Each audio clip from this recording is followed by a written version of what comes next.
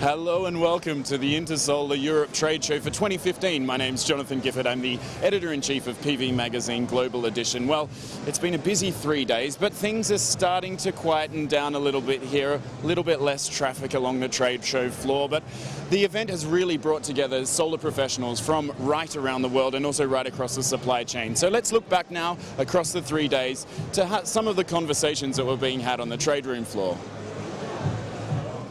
I think looking to the European market, I think let's talk about Germany, let's talk about UK, and then you have a couple of smaller markets, but these are the two main markets. And, and, and Germany is still very pretty much down, uh, even getting to a level below the 100 megawatt per year. Probably this year 1.2, 1.5 uh, gigawatt it is what it is. It's difficult to change the situation then.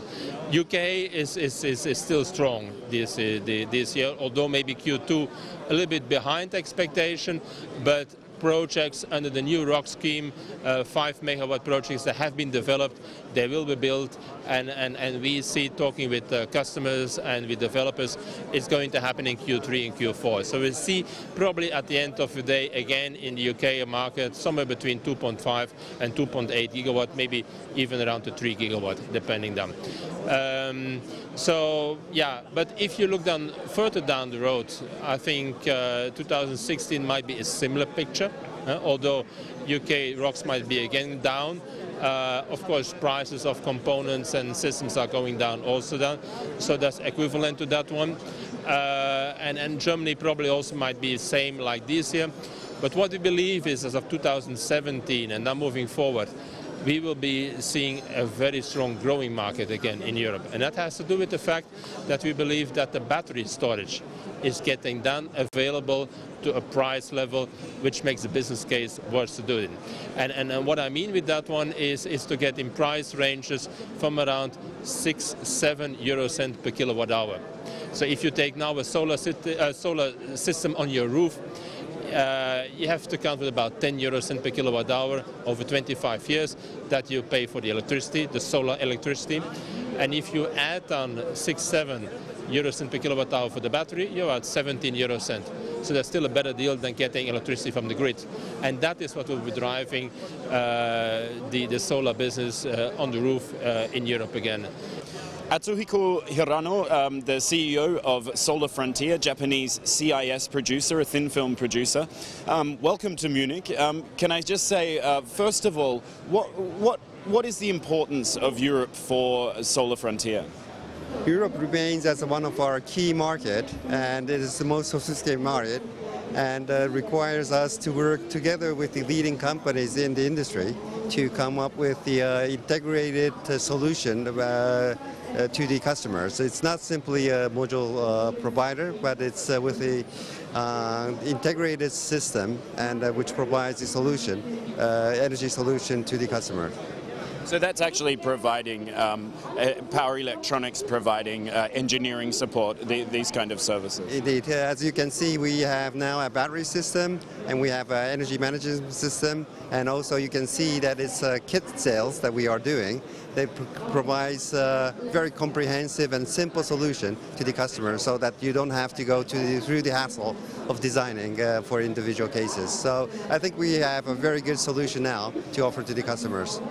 Well, the utility scale market in places like Germany is very depressed here in Germany. Um, Solar Frontier has a pipeline of some 100 megawatts um, in the UK though. Um, how has that market worked out for you? Uh, in Europe, it has always been the case that uh, it's not the one single country, but the, uh, as the region makes it the uh, interesting uh, benefit to our company. And uh, as the German market has Uh, decreased, uh, we are seeing this uh, huge growth in a market like UK. And also there's a, a, continuing growth in the residential sector in the Netherlands. So altogether, as a continent uh, or the region as the EU, it provides a really attractive opportunity to us. And the UK opportunity is a good, interesting opportunity that we're, it's the first BOT type, built on transfer type of project, business that we're launching in the Europe and uh, hopefully by 2016 we can complete the entire 100 megawatt, which provides us with a good knowledge and also allows us to work together with the leading companies in the region, together with the uh, financial institutions, which will give us a very strong um, team to work not only for this UK project, for, but for the future projects as well.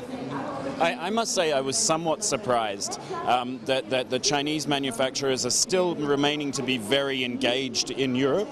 Um, as an Asian manufacturer, of course not Chinese, um, but as an Asian manufacturer, why is it that you think Europe remains so important for global, the major module suppliers? Right. I don't think I'm in position to quote the other company's uh, strategy, but for us, uh, we've been saying that energy is our core business. And as I mentioned to you at the, at the beginning, we are committed to become the solution provider in the energy sector through the our solar power solar technology. And uh, in Europe, uh, especially in Germany, it's now the uh, post-FIT period, which the people are now seeking for different uh, value from what it was in the past under the FIT period. And in the self-consumption model, there are many, many other new opportunities that we can provide as a solution provider.